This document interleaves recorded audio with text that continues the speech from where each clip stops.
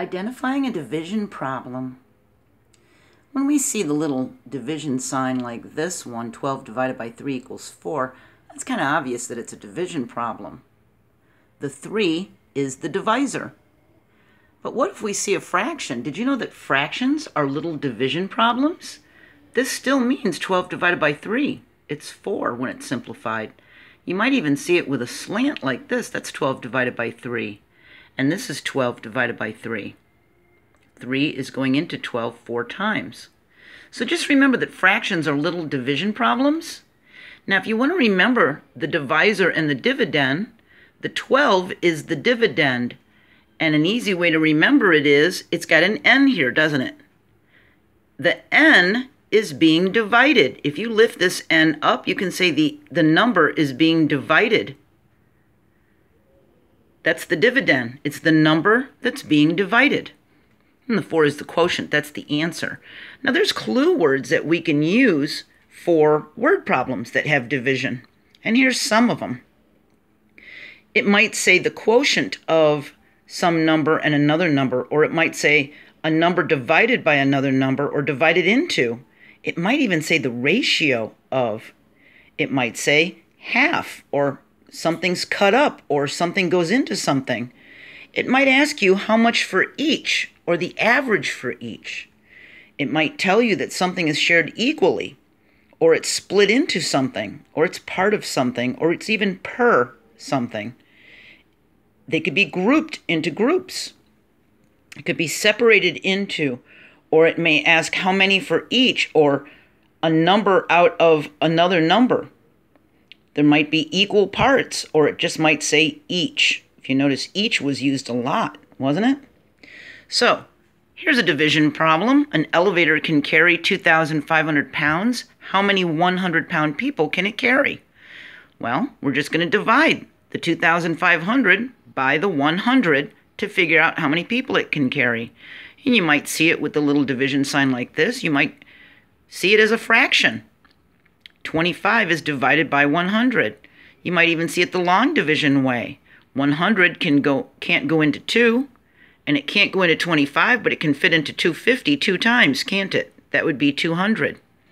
And what we do is when we write the 2 up here, we then multiply the 2 times the 100 and write it there.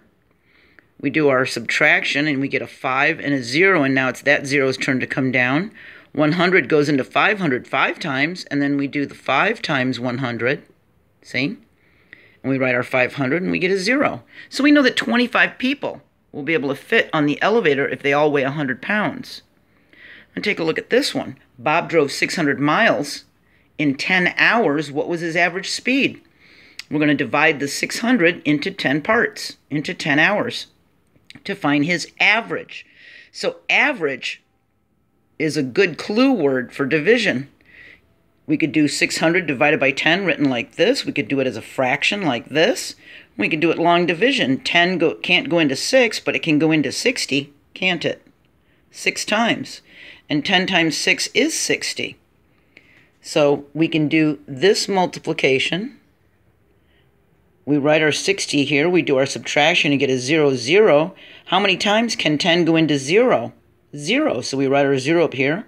10 times 0 is 0. We subtract and get a 0 remainder. So his average speed was 60 miles an hour. Let's take a look at this one. Tala has 220 books, and she can pack 20 books into one box. Now, all the boxes are the same size. So how many boxes will Tala need to pack all her books? So she's got 220, and each box is going to carry 20.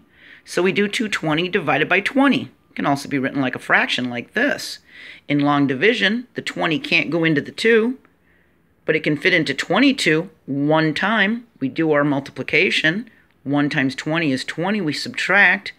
We drop this 2 down in the subtraction, and now it's the zero's turn to come down. 20 goes into 20 one time. We multiply it. We write 1 times 20 is 20 here and subtract and get a 0 remainder. So we know she'll need 11 boxes to pack her books. Here's one last one. Tala earned $800 this week. Now, if she worked for five days, how much did she earn each day? So that was another one of our clues, wasn't it? The word each. Okay, how many each? So we can write it as 800 divided by 5 or 800 over 5 like this to get a quotient as a fraction. Or we can say 5 goes into 800 how many times? Well, 5 goes into 8 one time. And 5 times 1 is 5. And we write that underneath the 8. We do our subtraction and we get our 3. Now it's the zero's turn to come down. 5 goes into 30 6 times. And 5 times 6 is 30. We subtract that and get a 0. We drop this 0 down. 5 goes into 0 how many times? 0 times. So we do 5 times 0 and write our 0 and do our subtraction. We get a remainder of 0. So we know she made $160 per day. See? So it's really important to pay attention to the clue words in word problems because they actually tell you whether to add, subtract, multiply, or divide. All right? And remember the different ways a division problem can be written. All right? And that fractions are little division problems.